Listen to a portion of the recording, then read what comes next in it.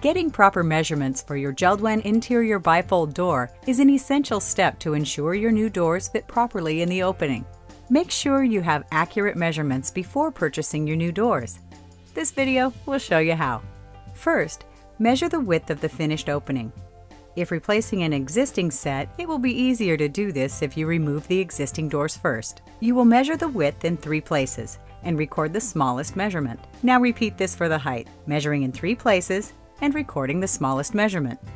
When purchasing your new doors, the packaging will have measurements that reference the size of the opening, which is what you measured, not the actual measurements of the door panels. This is to allow room for hardware and an even gap around the doors.